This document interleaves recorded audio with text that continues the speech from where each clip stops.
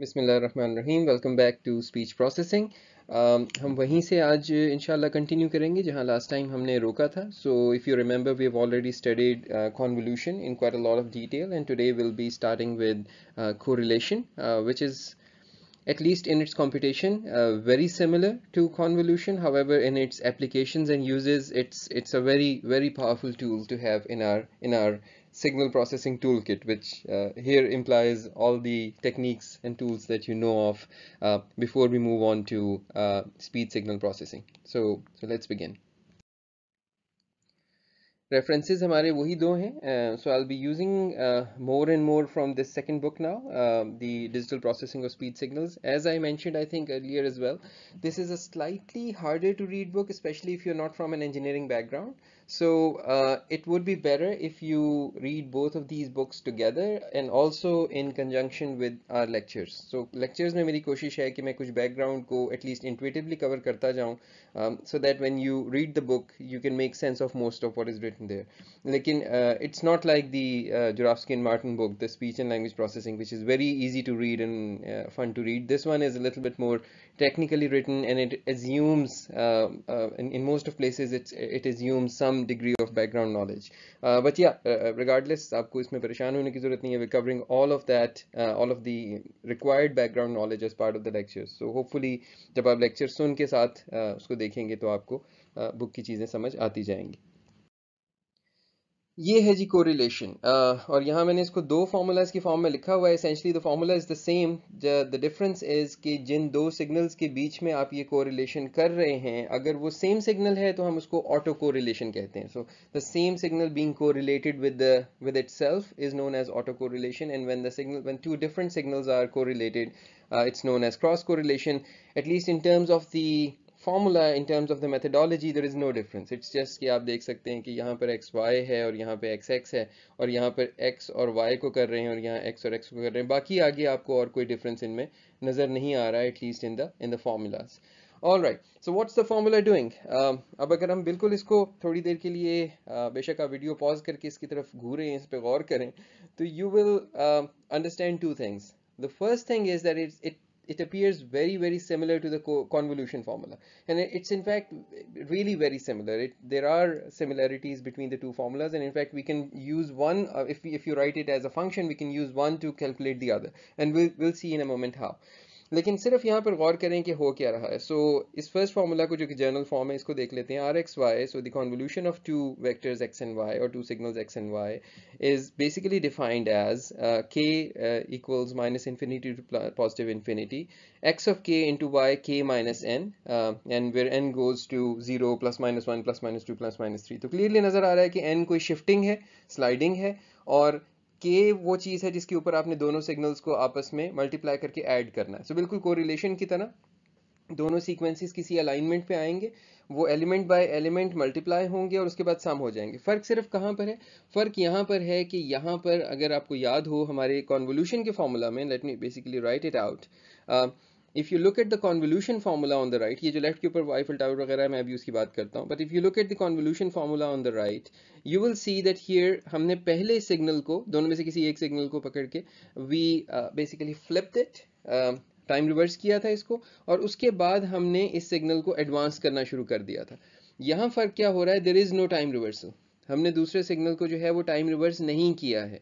और time reverse किए बगैर हमने इसके ऊपर ही शिफ्टिंग लगाना शुरू कर दिया। Now you know when the signal is not time reverse then this minus shifting essentially is the same it's shifting towards the right so now what you are doing is you are taking two signals एक signal है और let's say ये एक दूसरा signal है। और आपने इनकी कोरिलेशन फाइंड करनी है तो इसेंशली अब आप वही काम दोबारा कर रहे हैं कि एक सिग्नल को यूँ रखेंगे और दूसरे सिग्नल को बिल्कुल उसी फॉर्म में जिस तरह का वो है उसी तरह पकड़ के और यूँ स्लाइड करना शुरू कर देंगे और हर स्लाइड पॉइंट के ऊपर जो कि एन से इंडिकेट हो रहा है उसका हम कॉरस्पॉन्डिंग एलिमेंट्स को प्रोडक्ट लेंगे और उसके बाद पूरी चीज़ की समेशन कर देंगे। सो so, फ़र्क सिर्फ़ क्या रह गया दोनों के बीच में? फ्लिपिंग नहीं हुई। अगर मैं सिंपली प्रोसीजरली दोनों में एक फ़र्क आपके सामने रखूँ तो सिर्फ़ इतना है बिल्कुल कॉन्वोल्यूशन की तरह काम हो रहा है। बस फ़र्क इतना है कि दूसरे सिग्नल को राइट शिफ्ट करने से पहले फ्लिप नहीं किया। राइट शिफ्ट ही किया फ्लिप किए बगैर।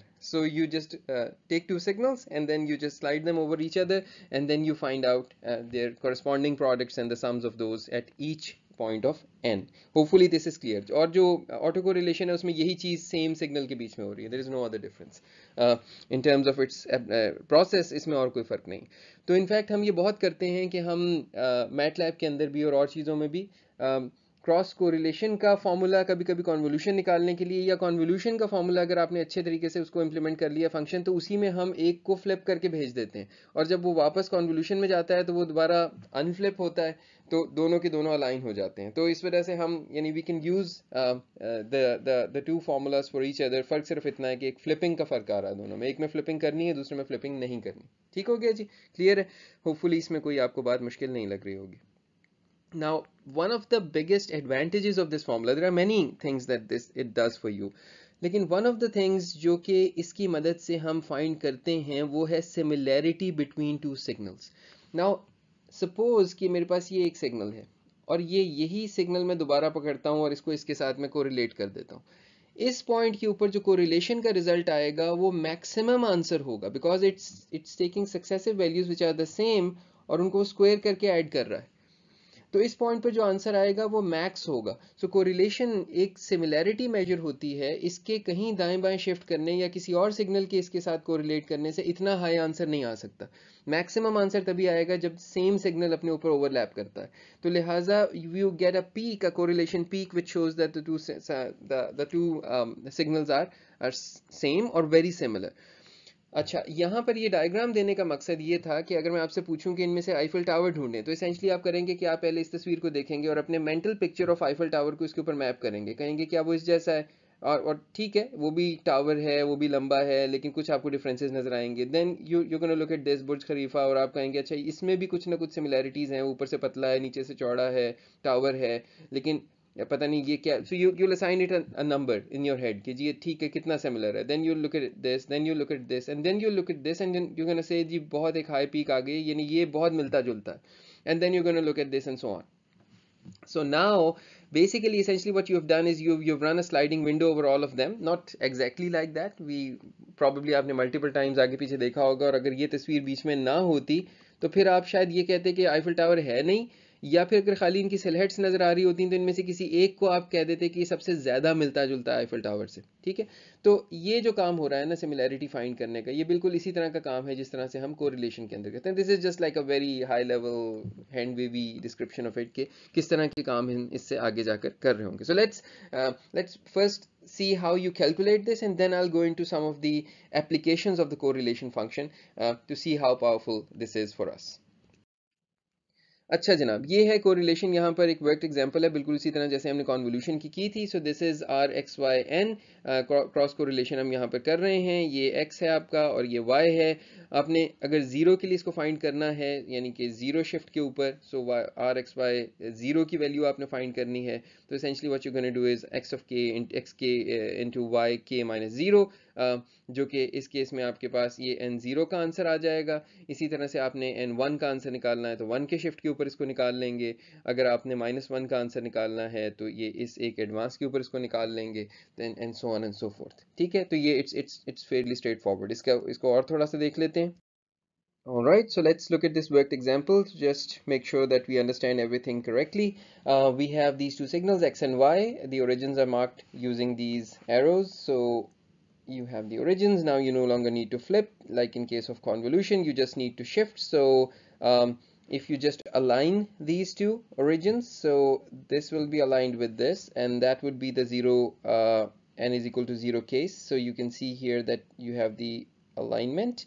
and for this point it is uh, uh, the the, the correlation would simply be uh, 2 um, in this case uh, where you have n is equal to 1 you have one right shift for this and once you do this one right shift you get this alignment of the signals and this is 1 to 1 1 2 4 3 3 and minus 1 so this is plus plus 5 6 7 8 minus 1 7 all right and here you have uh, n is equal to minus 1 so you have one left shift here and after the left shift you get this alignment. This is minus 2 plus 1 which is equal to minus 1 so hopefully this is simple and straightforward and, and there are no no complications here All right, so now we are ready to look at the correlation of finite duration uh, signals. So this is a, a single pulse um, of a sine wave, uh, and this is just a, uh, a, finite duration, obviously a single pulse. And you can see that the, the correlation forms this uh, one peak, this convex function, where you have one peak and the peak is at the point of exact alignment and at every other alignment, um, you have uh, some uh, magnitude of the correlation which is less than this peak. Now, I want you to basically extrapolate. So look at this diagram and visualize in your heads if this would have been a longer signal, so extend it on both sides, and there are multiple cycles now. And now what you are correlating with this is also uh, this, this new longer signal. Now, the first thing that I want you to visualize is when these two new finite duration signals will correlate with each other, what would be the resultant? That's the first question. जहन में visualize करें बेशक video pause करके करें कागज़ पे कर लें बेहतर है कि आप एक दफ़ा खुद से करें The second thing that I want you to visualize is what if these two signals are not finite duration, they are infinite duration. What would happen in that case? So just think of both of these cases in the infinite duration case, you would be getting again another signal like this, which will keep going in both directions. And these peaks are where the signal aligns with itself and the troughs are where the signal uh, does not align with itself like where where which we call the uh, the uh, in, in the terminology of interference that's the destructive interference of the two signals right? It's it's like that. Um, it's a negative correlation that it's having with itself uh, where there's a peak of one there's a trough of the other. So that's the negative correlation. But uh, the the important and interesting case for us is where you have the finite duration signals and that's what we're going to look at in the um, in the next slide. So it's basically a video. I'll just play a video for you and then we'll come back and we'll analyze the results of that video. So two signals finite duration getting uh, correlated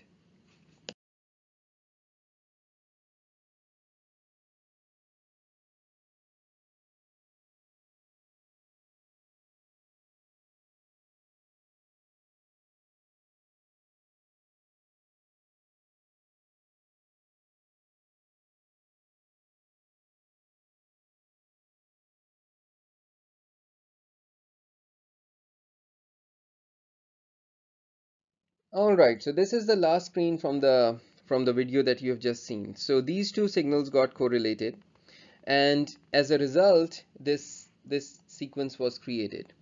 Now observe um, the interesting things that you can find here. The first interesting thing that I would like you to basically note is that okay we said that this point corresponds to the maximum alignment because this is a peak so you have the best alignment between the two signals. Uh, the signals are exactly similar to each other because here we are uh, basically correlating the, the signal with itself. So it's autocorrelation. So when the when you have maximum alignment, obviously you have a peak. But there is another interesting thing here. What is the peak actually? The peak is where each xn gets multiplied with itself. Isn't that the peak? So in terms of k, if I write it not as xn but x of k, where k goes from, in this case, uh, 0 to n or, or minus, infinity to plus infinity, whatever, um, when these two signals get multiplied together, you get this. And this, what is this? This is basically x squared k. And what is that? That's the energy of the signal. So one of the things that you get in the autocorrelation of two signals is that the central peak, its value at zero, is essentially the energy of the signal. So that's like a, a byproduct of your correlation that you get, the energy of the signal. एक important बात ये पता लग गई. Another important thing to note, note here, which is not very clearly obvious that why is it important, but this period between these two successive peaks and obviously from this to here and from this to here this is the fundamental frequency. This is the fundamental frequency of the signal. Now why is that? This is the strongest frequency component and the slowest. Strongest and slowest frequency component present in this waveform. The fundamental frequency the pitch. So autocorrelation is actually a really powerful mechanism for detecting the pitch in a particular signal. Now, we could have easily counted it from here. Like if we could have done like peak detection and we could have counted it from here. Because it's a simple sine wave. What if this is a more complicated signal? And this thing repeats. So this is one cycle let's assume and now this cycle will repeat. So if the cycles are so complicated like this it's very hard to measure the peak uh, the pitch from the actual signal. But if you correlate this signal with itself as we're going to do in the next um, uh, MATLAB demo that we're going to uh, move to now. Um, so we'll see that when we correlate this signal with itself, that is when we find the autocorrelation of this signal, it is relatively easier to see these peaks and also we'll see later when we'll get to that part of the course in, in one or two uh, lectures. Um, we'll see that it's also very easy to just detect these peaks so we'll just find a threshold and we're going to say everything above the threshold is a peak and then you find just the distance between the peaks in terms of number of samples and because you already have TS the sampling interval you can find out the T which is the time period of this waveform and from T you can easily find 1 over T which is your frequency.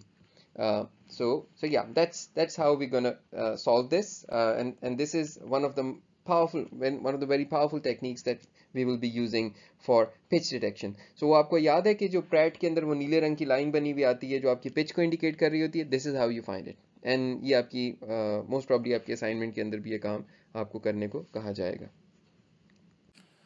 All right ji so time to see correlation in action जैसे कि मैंने कहा कि मैं यहाँ पर convolution ही को use कर रहा हूँ for correlation I just set this one variable जो कि कॉन्वोल्यूशन और कोरिलेशन के बीच में uh, change karega and what I'm going to do I'll start with uh, a simple correlation between a rectangular pulse and a triangular pulse तो ये हमारे सामने एक बहुत simple सी example आ जाएगी essentially what the code does is कि ये पूरी की पूरी convolution uh, और पूरी correlation निकाल कर so this is where it's doing it's using a convolution formula और सिर्फ़ flip कर रहा है दोनों में से एक function को और दोनों में से एक सिग्नल को। और उसके बाद ये जब कॉन्वोल्यूशन का रिज़ल्ट आ जाएगा यानी इसेंशली कोरिलेशन का रिज़ल्ट आ जाएगा तो उसको प्लॉट कर देगा। And then we gonna basically see a red dot getting trace through the whole signal to see के कौन सा आंसर जो है वो किस अलाइनमेंट के नतीजे में आ रहा है। ठीक है जी लेट्स बिगिन ये आपके पास एक एक रेक्टेंगुलर uh, पल्स और एक ट्राइंगुलर पल्स आ गया। And let me basically correlate them so you can see this red dot is tracing is tracing के जो answer आ रहे हैं वो क्या आ रहे हैं because zeros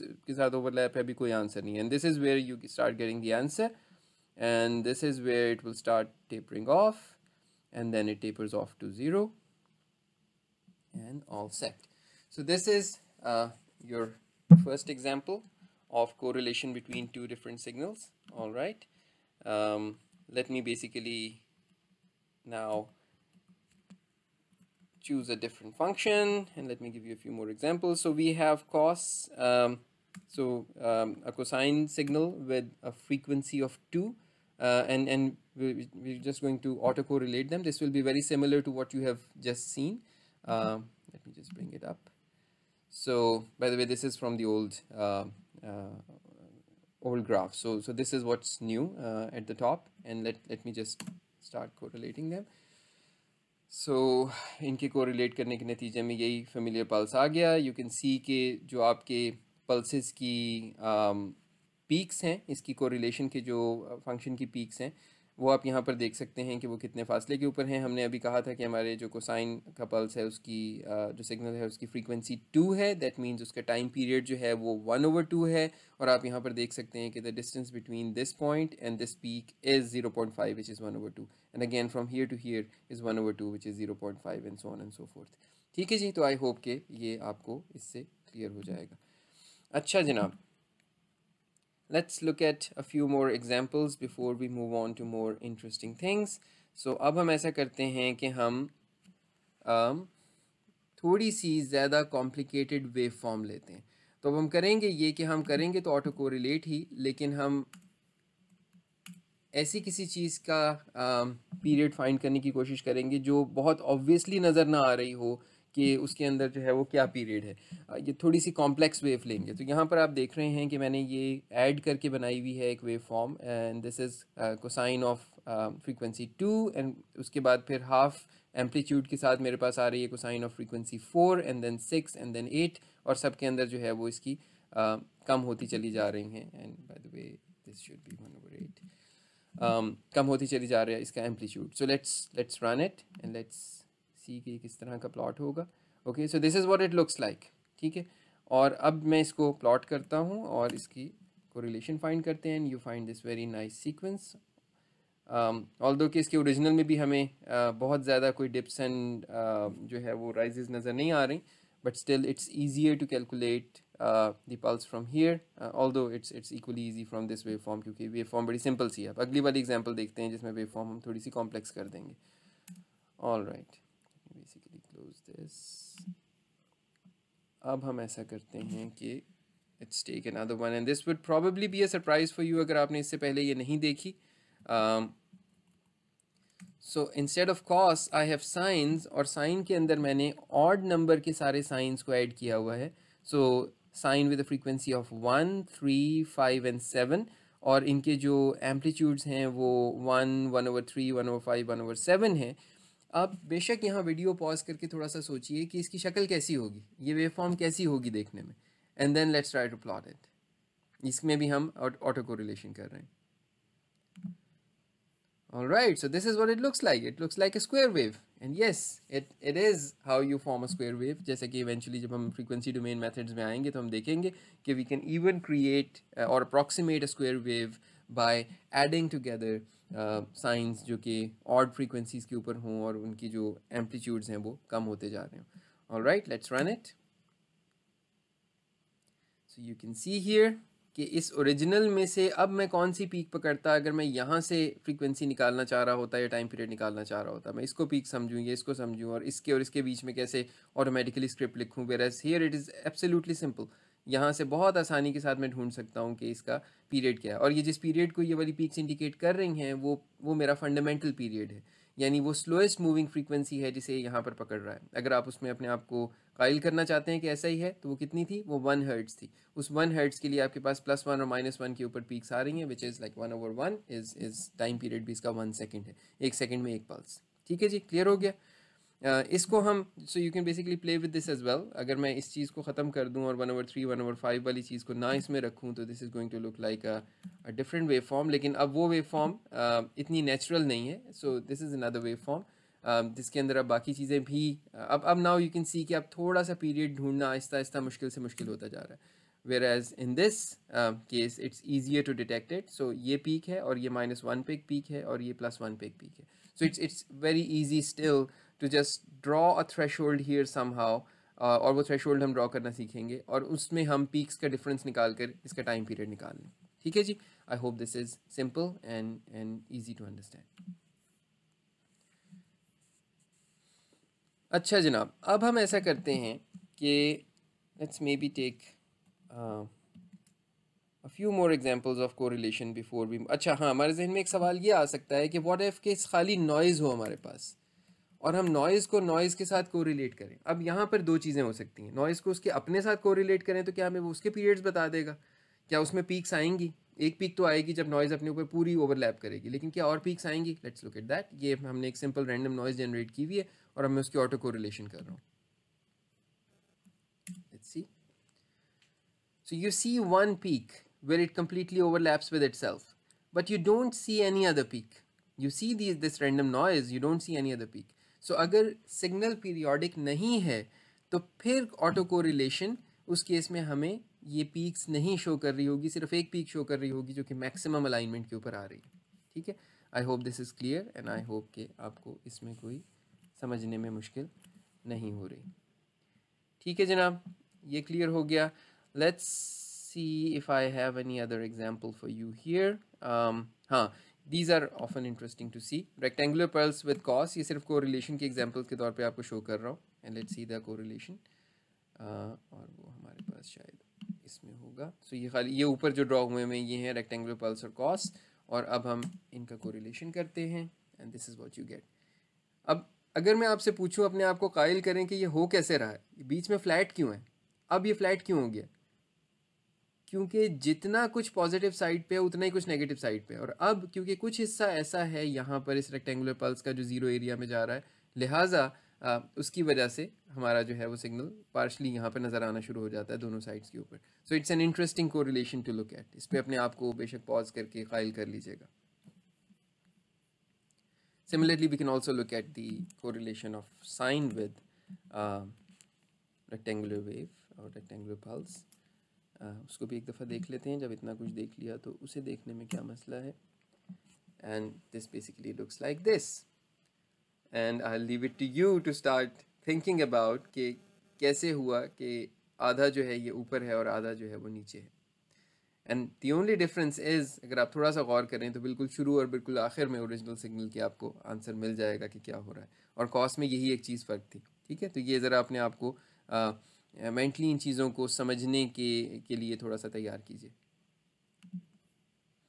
All right so now I next want to show to share something else with you तो मैं यहाँ पर इस वीडियो को रोकता हूँ and then in the in the next one I'll show you another example जो कि कोरिलेशन की क्रॉस कोरिलेशन वर्जन की एक बहुत पावरफुल कैपेबिलिटी uh, को आपको शो करेगी। Before moving on to cross correlation और उसके एग्जांपल्स एक चीज़ मैं आपको और शो करना चाहूँगा ऑटो कोरिलेशन से पिच फाइंड करना for a real vowel so I have recorded the vowel ah as in the word ba ba so I actually recorded बा बा और उसके अंदर से मैंने आ को जो है वो कट आउट कर लिया for a very short duration और वो रिकॉर्डिंग मैंने यहाँ पर ओपन की है ऑडियो रीड से और उसके बाद ये मैंने इसको प्ले भी किया हुआ है. So once I play this जब मैं इसको चलाऊँगा ना, इस फ़ाइल को तो ये प्ले भी होगा साउंड एस से ये. वे फ़ाइल जो है इसकी ये जो एरे है ये प्ले भी हो जाएगी। And then on all I am going to do is I plot it और इसमें मैं आपको एनिमेशन शो नहीं करूँगा थोड़ा सा टाइम ले जाएगी। I just show you the final graph and will see के ओरिजिनल के अंदर इतना आसान नहीं होगा पिच को देखना। So you heard the ah right ये रिकॉर्डिंग थी इसकी। And now let me just zoom it in so you can see here ये आर रिकॉर्ड हुआ हुआ है and you can clearly see कि इतनी इसमें पीक्स हैं कि इतना आसान नहीं है यहाँ से बताना कि इसका पीरियड क्या ऑल दो के with some effort we can find out क्योंकि ये प्रॉब्ली इसका इतना पीरियड है जिसके ऊपर ये रिपीट हो रहा है। And we can just measure the number of samples from here and sampling rate हमें मालूम है वो एट थाउज़ेंड जो है वो हमने हर्ड्स का इसमें सैम्पलिंग रेट यूज़ किया हुआ है, eight thousand samples per second. तो उससे हम निकाल सकते हैं कि इसका पीरियड कितना है। But you already know my fundamental frequency it it it it is around ten लेकिन आ बोलने में ज़ाहिर है थोड़ा बहुत ऊपर नीचे गई होगी the way I have set बाबा। तो 110 के कहीं करीब करीब आनी चाहिए। If you look at the the outcome the the auto correlation outcome यहाँ पर आपको नज़र आ रहा है कि ये एक सेंटर में तो पीक है और उसके बाद जो पहली पीक आपको इस साइड पर नज़र आ रही है। नाउ अगर मैं खाली एक सिंपल स्ट्रेट लाइन लगा दूँ तो ये पीक्स इससे ऊपर आ जाएँगी। ये पीक राइट साइड के ऊपर 0.0085 पर तकरीबन है। इट्स 0.0085 और ये मैंने इसको ऑलरेडी जो आपके सैम्पलिंग इंटरवल है, उससे मल्टीप्लाई करके लिखा हुआ so these are second 0.0085 seconds so let me just run a calculator 0.0085 seconds इसको मैं इन्वर्स कर देता हूँ तो ये तकरीबन 117 हर्ट्स की फ्रीक्वेंसी आ गई which means we getting the right right thing this is the fundamental frequency जो हम यहाँ से कैच कर रहे हैं. एंड विद सम एफर्ट अगर आप कोशिश करें तो आप ख़ुद से ये भी निकाल लेंगे कि ये वाली जो जगह है, ये है टू ट्वेंटी सेवन और जो ये वाली जगह है, ये है टू नाइन्टी सिक्स तो you can just do the math from here two twenty seven and the second one was 296 so 296 minus 227 69 samples uh, and you just divide it with 8000 जो आपकी सैम्पलिंग फ्रीक्वेंसी है तो आपके पास exactly exactly वही चीज़ आ गई 0.0085 थी, ये 0.0086 आ गई, इसको आप इन्वर्स करें तो यू गेट 115 हर्ट्ज सो इन दोनों से अगर हम खाली निकालते, जो हमने निकाली है, वो एवरेज आउट है इन सब के ऊपर, जो यहाँ निकली है, वो खाली इन दो की मदद से निकली है. So you get the same result here as well ठीक है? तो I hope I hope things are making sense to you और आपको ये चीज़ें समझ आती जा रही हैं कि किस तरह से हम इन कैलकुलेशंस को आगे जाकर किया करेंगे. सो ऑटो को रिलेशन की तो आपने कुछ स्ट्रेंथ्स देख ली। अब हम एक और काम करते हैं। अब हम क्रॉस को रिलेशन को देखते हैं कि ये हमारे किस काम आ सकती है। So let's take a real situation for example you have two microphones so let's assume I have a microphone here and I have another microphone here and there is some known distance D between these two microphone so this distance is D Now let's assume that both of these microphones are recording sound और इनके ऊपर एक sound आती है जो कि पहुँचती है T1 पे टाइम T1 पे इस माइक्रोफोन पे और लेट्स से टाइम T2 पे इस माइक्रोफोन पे। यहाँ हमारे पास एक बहुत इंटरेस्टिंग क्वेश्चन ये होता है कि can we find out the direction of arrival of this sound and can we find out the origin can we locate the origin of this sound अब क्योंकि हमें इस इक्वेशन के अंदर बहुत से चीज़ें जो हैं वो नोन हैं हमें स्पीड ऑफ़ साउंड एस्टिमेटेड है कि एक पर्टिकुलर टेम्परेचर के ऊपर जो है वो कितनी होगी। So let's assume we know we the speed of sound we also know the time delay delta T which is essentially uh, t1 minus t2 which uh, is कि जितना वक्त लगा इन इन दोनों सेंसर्स uh, तक उस आवाज़ के पहुँचने में जितना उसके बीच में डिले आया। इस डिले की मदद से हम एस्टिमेट कर सकते हैं कि उस साउंड की डायरेक्शन ऑफ़ अराइवल क्या थी। कैसे करेंगे? फॉर एग्जांपल एक साउंड है जो लेट्स एज्यूम मैं ये कहता हूँ इस हाफ़ पॉइंट से अगर इस साइड पे कहीं साउंड ओरिजिनेट हुई है तो वो पहले इस माइक्रोफोन M1 पर पहुंचेगी और बाद में माइक्रोफोन M2 पर पहुंचेगी। और अगर इस हाफ़ में कहीं साउंड जनरेट हुई है तो वो पहले एम टू पर पहुंचेगी और बाद में एम वन पर पहुंचेगी। इतनी चीज़ क्लियर है? ठीक है, ये बात समझ में आ गई। अब हम दूसरे सवाल की तरफ़ आते हैं कि लेट्स एज्यूम मुझे मालूम हो जाता है कि कब वो T1 पर पहुँची और कब वो T2 पर पहुँची तो क्या इस डिले की बेस पर मैं बता सकता हूँ कि वो साउंड किस डायरेक्शन से आई थी? Obviously I can tell that so I am gonna use V and and it will just be I will form this triangle and I will solve it to find out the direction of arrival.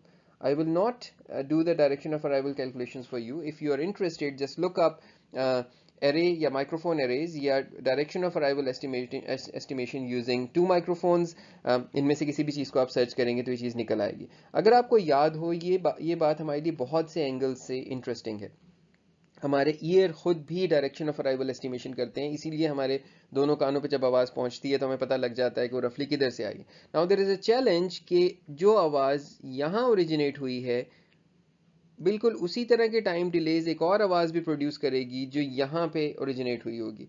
Provided कि ये वाला distance so this is equal to this and this is equal to this अगर ये दोनों चीज़ें equal हैं तो इतने ही टाइम डिलेज इसमें भी आएँगे। In this first assumption, we have assumed omnidirectional microphones. And omnidirectional microphone is one जिसके किसी भी डायरेक्शन से आने वाली आवाज़ का रिस्पॉन्स एक ही जितना प्रोड्यूस होता है रिस्पॉन्स मीनिंग आप सादा वर्ड्स में आप समझ लीजिए मैं फ़िलहाल सिर्फ़ एम्पलीट्यूड रिस्पॉन्स की बात कर रहा हूँ कि जितना जो है वो करंट इंड्यूस हुआ आगे या जितना जो है वो उसके नतीजे के अंदर हमारे जो ये वोल्टेज ग्राफ हमने बनाया था इस वोल्टेज ग्राफ में चाहे किसी भी डायरेक्शन से आवाज़ आए ये एक ही जितना एम्पलीट्यूड प्रोड्यूस करता है। फ़र्ज़ कीजिए अभी मैं बहुत ही सिंपल करके आसान वर्ड्स में इस चीज़ की बात कर रहा हूँ। अब इस चीज़ को कैसे सॉल्व करें? दो तरीके हो सकते हैं। या तो हम यहाँ ओमनी डायरेक्शनल की जगह किसी और किस्म का माइक यूज़ कर लें like unidirectional microphone cardioid microphone use कर लें। आ, या हम ये करें कि हम यहाँ पर एक माइक्रोफोन बढ़ा लें। सो so, अगर हम यहाँ पर यूज़ कर रहे थे दो माइक्रोफोन तो उसकी जगह अगर हम यहाँ पर तीन माइक्रोफोन यूज़ करना शुरू कर लें where the third microphone does not lie on this line तो ये थर्ड माइक्रोफोन अब मुझे अलाउ कर देगा कि मैं डिसम्बिगुएट कर सकता हूँ कि आवाज़ इस साइड से आई थी या इस साइड से आई थी ठीक है? सो so, यहाँ से आगे अब आप ये समझ सकते हैं कि अगर ये सारे डिस्टेंसेज नोन हैं तो I can use this this these microphones in different arrangements यहाँ मैंने ट्राइंगुलर अरेंजमेंट किया I could have other arrangements with other number of microphones like square arrangement and other arrangements और उनकी मदद से आई कैन लोकेट के direction of arrival of sound क्या थी. And I can also locate, because I know V, I can also locate कि ये sound जो है वो कहाँ से ओरिजिनेट हुई थी. So direction of arrival estimation and origin की एस्टिमेशन ठीक है? So locating the origin of sound ये दोनों की दोनों चीज़ें हम कर सकते हैं। यहाँ पर अगर हम थोड़ा सा इसकी और तफसील में जाएँ तो you need at least three microphones to find out the direction of arrival accurately in two dimensions अगर थ्री डायमेंशंस के अंदर आपने करना है तो आपको इसके लिए एक माइक और चाहिए होगा, जो इस प्लेन में एग्जिस्ट ना करता हो। तो आपकी स्क्रीन से बाहर लगा हुआ होगा, या आपकी स्क्रीन के अंदर लगा हुआ होगा एक माइक्रोफोन और आप उसको यूज़ कर रहे होंगे। So you can think of that as as sort of this like pyramid of microphones जो आप यहाँ पर यूज़ कर रहे हैं, जिसकी मदद से आप जो है वो so you have microphones on all of these corners of the pyramid और इसकी मदद से आप डायरेक्शन ऑफ़ अराइवल निकाल सकते हैं। अब ये हमें बेसिक थ्योरी तो समझ में आ गई। बहुत क्विकली मैं सब कुछ के ऊपर से गया हूँ और आपको अगर ये खुद से करना है तो इसके लिए अभी मजीद पढ़ना पड़ेगा। The information that I given you is not complete nor enough मेरा सवाल कुछ और है। मेरा सवाल ये है कि आपके पास दो माइक्रोफोन थे मैं यही कैसे पता लगाऊँगा कि एक सिग्नल यहाँ कब पहुँचा है और यहाँ कब पहुँचा है? पे सिग्नल तो एक कंटिन्यूस चीज़ है ना, जो मुसलसल आ रहा है, वो कोई ऐसी चीज़ तो नहीं है कि जो अभी आ रहा है और थोड़ी देर के बाद नहीं आ रहा। तो लिहाजा ये काम करने के लिए I can I would need to basically align these two signals together somehow and figure out कि इनके बीच में डिले कितना है। सो लेट्स अज्यूम ये एक सिग्नल है और ये दूसरे माइक के ऊपर जो सिग्नल पहुँचा, वो कुछ इस किस्म का पहुँचा। तो असल में जो लैग नज़र आ रहा है वो इतना है इनके बीच में। This is my delta T लेकिन इसके लिए मुझे इन दोनों को अलाइन करने की ज़रूरत है। So correlation fortunately is one of those tools that I can use कि अगर मैं इन दोनों सिग्नल्स को आपस में कोरिलेट करूँ, वो मुझे पीक देगा उस पॉइंट के ऊपर, जिस पॉइंट पर ये दोनों सिग्नल्स मैक्सिमम अलाइंड होंगे। And I can just find out कि ये पीक जो है, ये कितनी ओरिजिन से कितनी दूर आ रही है, कितने सैंपल्स दूर आ रही है। And because I know the sampling interval T S So I can simply multiply the number of samples multiplied by TS to figure out the time delay between these two signal so यहाँ पर हम correlation को use करते हैं cross correlation को use करते हैं. We just find the cross correlation between these two signals और उसकी बेस पर हम ये निकाल सकते हैं कि ये कितने टाइम डिलेड हैं. सो मल्टीपल सेंसर्स के ऊपर आने वाले सिग्नल्स को हम आपस में क्रॉस कोरिलेट करके ये फिगर आउट कर सकते हैं कि वो सिग्नल्स कितने कितने डिले के बाद दूसरी जगह पर पहुँचे हैं और वो पीक्स रिवील कर देंगे कि कितने डिले के बाद पहुँचे हैं. So this is by the way not the only method but this is the simplest to explain method of finding out these maximum alignments between signals which are arriving different uh, sensors. अब इस चीज़ को थोड़ा सा करके हम देख लेते हैं मैटलैब के अंदर। ऑल राइट जी सो अब हम ये करेंगे कि अब हम कुछ एक्चुअल रिकॉर्डिंग्स लेंगे। हमने जो डिले एस्टिमेशन की भी बात की है ना उसको समझने के लिए all I have done is कि मैंने सिंपली ये एक फ़ाइल ली है और ये फ़ाइल आप ऑलरेडी जानते हैं। This is the first file from the press corpus that you will be recording these days I think so मैं इसको चला देता हूँ एक दफ़ा। और इसको बाय द वे मैंने um, eight thousand samples per second के ऊपर मैंने इसको रीसैम्पल कर दिया है तो ये आप देख सकते हैं कि इसके ऊपर का हिस्सा जो है ये गायब हो गया है। सिर्फ़ फोर थाउज़ेंड हर्ट्स तक इसके अंदर uh, जो है वो इन्फॉर्मेशन पड़ी हुई है। Let me play it for you Neelam ने सालगिरह पर हेड सेस्मोग्राफ असवद कुरैशी के माथे पर एंठन और गम की आतशी रो महसूस so this is your familiar press corpus अब तक तो आपको इस वाले जुमले पे हँसी आना भी बंद हो गई होगी because it has been a while आप काफ़ी अरसे से इसको सुन रहे हैं। और उसके बाद मैंने किया है कि मैंने इसी के अंदर से ना एक हिस्सा थोड़ा सा काट लिया है। So let I just took out let me just add it so I just took out Qureshi और ये आखिर में मैंने इसके ना नॉइज़ सारी की सारी डाल दी। सो so, सिंपल मैंने कमरे में जो एम्बियट नॉइज़ थी वो रिकॉर्ड कर ली। Why did I do that because Matlab में जो डिफ़ॉल्ट फ़ंक्शन लिखा हुआ है कोरिलेशन का या कॉन्वोल्यूशन जिस तरह लिखा हुआ था उसमें आपके दोनों वेक्टर्स का साइज़ सेम होना चाहिए तो रादर देन कि मैं उसको रीराइट करता मैंने इस वेक्टर को बड़ा करके इसके आगे सिंपल नॉइज़ डाल दी है कोरिलेशन में कोई फ़र्क नहीं पड़ेगा असल में तो इस चीज़ को हमने ढूंढना है दूसरी वाली फ़ाइल के अंदर सो कुरैशी वर्ड जो है ये हम सर्च कर रहे होंगे एक दफ़ा हम उस फ़ाइल में जाकर देख लेते हैं कि रफली ये पड़ा हुआ कहाँ पर है So the Qurayshi is somewhere around here, I think. के माथे पर and So it should be here. Qureshi के माथे Qurayshi. So it's here. And around जो हमारा टाइम है, जिस पे ये पड़ा हुआ है, ये कोई three point seven four three point seven two seconds के ऊपर जो है वो ये वाली चीज़ पड़ी हुई है। So this is the the best alignment जो हमें मिलनी चाहिए। किसी तरह हमें three point seven two seconds मिल जाना चाहिए इस चीज़ के नतीजे में कि जहाँ पे इसकी बेस्ट अलाइनमेंट आएगी right so I just took these two files I named one of them haystack uh, haystack and I named the other one as needle by the way ये हम terminology use करते हैं जब हम कभी भी search करने वाली चीज़ और जिसमें search हो रहा है उसकी बात कर रहे होते हैं तो searching for a needle in a haystack तो एक वो घास के गट्ठे के अंदर जो है वो हम एक घास की जो है वो टुकड़े को ढूंढ रहे हैं उसका हम यहाँ पर ज़िक्र कर रहे हैं। ऑल राइट right जी तो इसको सेव मैं ऑलरेडी कर चुका हूँ। I just go to this different file it's a very short file जिसके अंदर हमने सिंपली बस सिर्फ़ इन दोनों को आपस में क्रॉस को रिलेट किया। This time I use the cross correlation function and I'll just use the haystack and the needle, the simple files, uh, and let's see what happens. All right, so let me just zoom it in. So आपको यहाँ पर नज़र आ रहा है, ये ऊपर आपकी पूरी फ़ाइल है, नीलम ने सालगिरह पर हेड सेस्मोग्राफ असवद कुरैशी के माथे पर एंटनोग्राम की आज छिनो महसूस की। ये वो जगह है जहाँ पर कुरैशी लिखा हुआ है, ठीक है? और ये वो है जो आपने उसमें सर्च किया था। You can clearly see that in the output there is a very high peak ये पीक आपको मिल रही है। So you we have a peak so we are successful पहली चीज़ तो ये है कि पीक हमें इसमें मिल गई है। और जो इस एक्सेस को मैंने मार्क किया हुआ है, वो मार्क भी मैंने किया हुआ है सेकंड्स के अंदर तो यू कैन क्लियरली सी कि ये हमें क्या बता रहा है 3.79 सेकेंड्स के ऊपर इसको ये पीक मिली है। Let's just figure out from here whether this agrees हमने अभी जो वहाँ पर देखा भी था इसको। तो this is so the two nine eight three eight so two nine eight three eight को you can easily multiply this with just write it 29838 uh, ये हमारे नंबर ऑफ़ सैम्पल्स हैं जितने के ऊपर जाके इसकी अलाइनमेंट हुई है। हर सैंपल कितना है? So again dividing it by 8000 and you get 3.72 so around 3.72 के ऊपर इसकी अलाइनमेंट है और 3.72 ही के ऊपर तकरीबन 3.79 के ऊपर ये हमें शो कर रहा है। ऑब्वियसली मैंने कट जो किया हुआ है you can see it from here कि वो एग्जैक्टली exactly वहाँ से नहीं किया हुआ थोड़ा सा आगे से किया हुआ है। इनफैक्ट यस सो मैंने जो कट किया हुआ है, वो यहाँ से किया हुआ है। So which is sample number three zero three five seven तो वो एग्जैक्टली exactly वहीं पर आ जाएगा, जहाँ पर आपका ये थ्री पॉइंट सेवन नाइन आपको शो कर रहा है। ठीक है? If you want to further convince के मैं सच कह रहा हूँ तो एक दफ़ा कर लेते हैं। Three zero three seven eight so just write it three zero three seven eight divided by 8000 gives you 3.79 yes, i was telling the truth. Yay!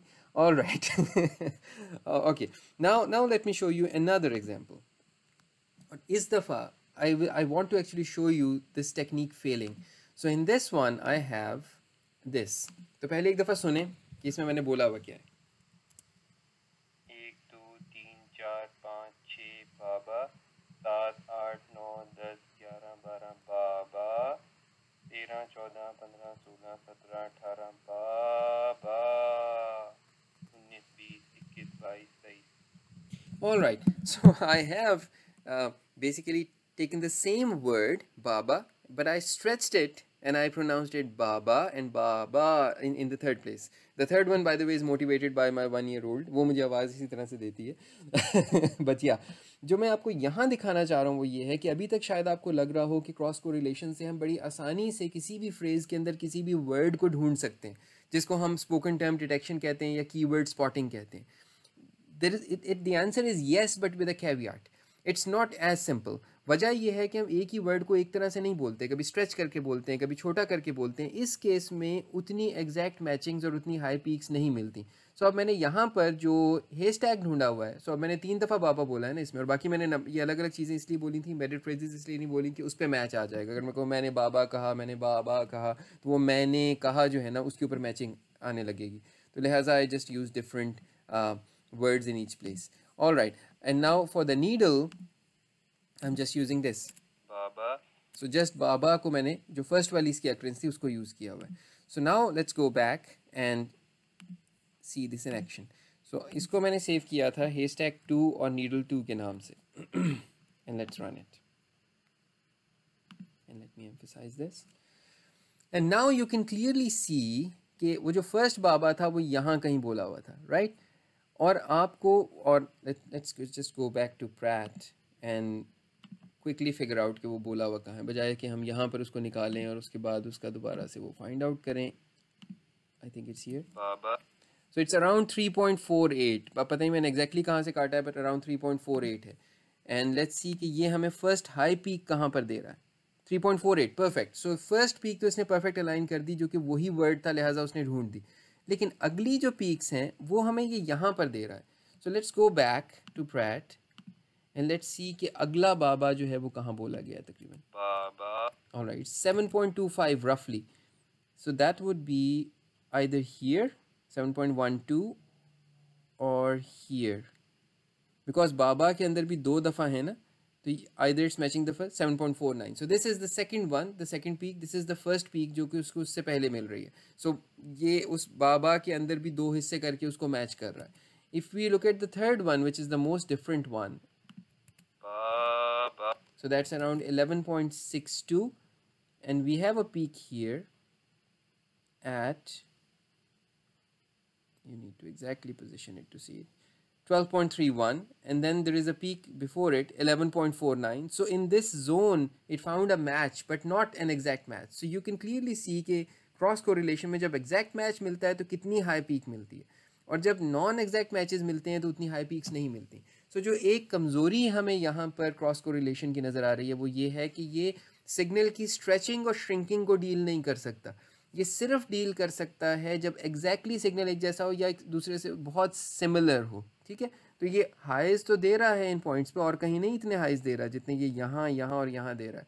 However still the matching could be better तो लिहाजा हम इसके लिए अभी नहीं, एक आध lecture के बाद will have a special lecture जिसके अंदर हम कुछ टेक्निक्स पढ़ेंगे जो कि हम कीवर्ड स्पॉटिंग या स्पोकन टर्म डिटेक्शन के लिए यूज़ करते हैं they known as dynamic time warping उसके लिए हमने एक और चीज़ भी पढ़नी है जो आपके प्रोजेक्ट में भी यूज़ होनी है which is known as minimum edit distance the two algorithms are very similar to each other actually so will that would be one lecture in which will just do all of that but yeah for now let's return to the time domain methods of speech processing by the way वो भी time domain methods हैं, लेकिन अभी फ़िलहाल हम उनको नहीं देख रहे जी जनाब सो कोरिलेशन के इस ब्रीफ से इंट्रोडक्शन के बाद और थोड़े से इसके ये जो हमने एक्सपेरिमेंट्स मिलकर किए, इसके बाद now we are ready to basically move on to the next main topic in our discussion और इसके लिए आप अपने जहन में ले आइए जो हमारी डिस्कशन हो रही थी around linear and time invariant systems और linear and time invariant signals की।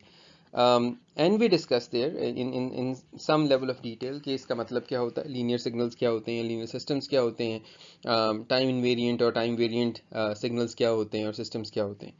तो उसी डिस्कशन को आगे बढ़ाते हुए जि, जितने भी हम मेथड्स अब डिस्कस करेंगे of time dependent processing of speech signals के ये time domain waveform of speech को डायरेक्टली यूज़ करते हैं। So will be using the time domain representation will be using this representation where the axes this axes is this axes is time and this axes is some form of the representation of the amplitude और ये हमने इससे पहले discuss किया हुआ है कि यहाँ पर क्या क्या यूज़ हो सकता है और उसके पीछे क्या क्या हमारी रीजन होती हैं।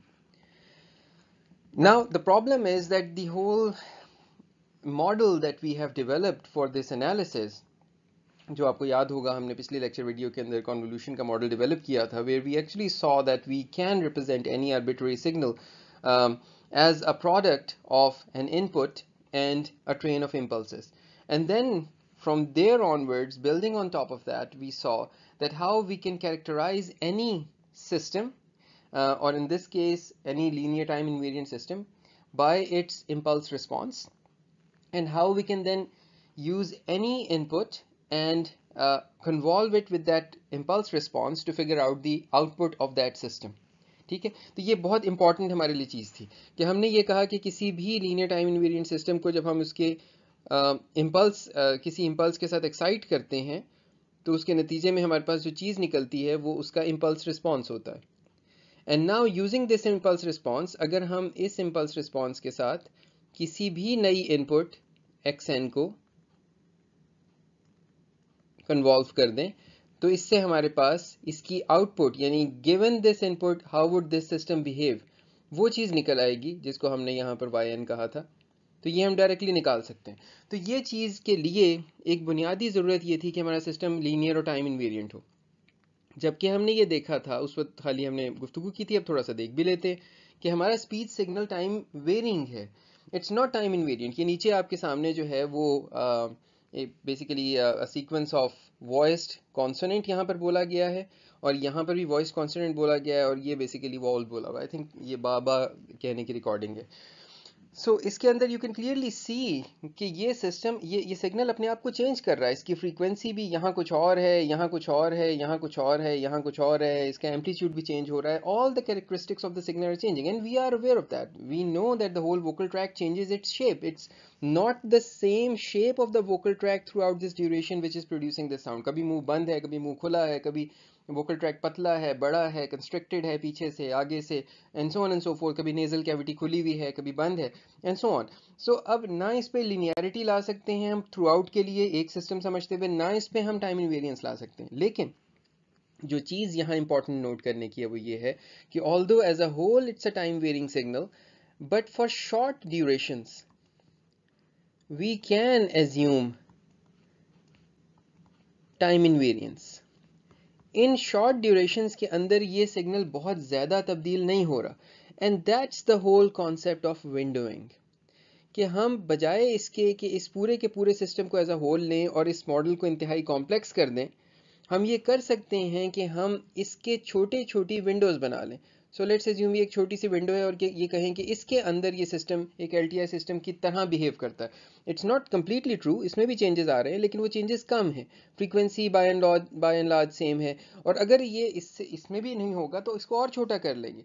So for windows of like twenty milliseconds thirty milliseconds fifty milliseconds हमारा ये सिस्टम बहुत हद तक टाइम इनवेरिएंट सिस्टम्स की तरह और लीनियर सिस्टम्स की तरह बिहेव करना शुरू कर देता है। सो देयरफॉर अब हम जितनी भी गुफ्तगू करते हुए आए हैं we will convert all of that into short time analysis so अब तक हम बात करते रहे पूरे सिग्नल की as a whole which does not make sense अगर मैं आपसे खाली आप ही से सवाल करूँ, चलें, फ़र्ज़ कीजिए कि मुझे आप एनर्जी बताएँ, इस इस सिग्नल की मुझे एनर्जी निकाल दें। आप मुझे इसकी एनर्जी निकाल देते हैं। आपने मुझे इस सिस्टम की, इस सिग्नल की लेट से एक्स ये सिग्नल था, इसकी आपने मुझे एनर्जी निकाल कर दे दी। मुझे उससे क्या फ़ायदा होगा? वो एनर्जी यहाँ से लेकर यहाँ तक सेम तो है नहीं। यहाँ कुछ और है, यहाँ कुछ और है, यहाँ कुछ और है, यहाँ कुछ और है। So therefore it doesn't make sense so therefore we don't want one value of one number क्योंकि एनर्जी आपको वन नंबर निकाल कर देती है। We don't want one number we want energy being calculated on small segment throughout so अब हम ये करेंगे। यहाँ की एक एनर्जी निकलेगी, यहाँ की एक निकलेगी, यहाँ की एक and so on and so forth हम एनर्जी निकालते चले जाएँगे थ्रू आउट हमारे पास ढेर सारी वैल्यूज़ आ जाएँगी। और उसके बाद हम उन वैल्यूज़ को प्लॉट कर देंगे कि हम कहेंगे, जी, यहाँ एनर्जी लो है और यहाँ एनर्जी हाई है और यहाँ एनर्जी लो है और यहाँ energy high and so on and so forth ये जो ग्राफ बनेंगे, ये हमारे शॉर्ट टाइम एनालिसिस से आ रहे होंगे कि ये एक फ्रेम है, इसके अंदर एनर्जी निकाली और एक पॉइंट लगा दिया यहाँ।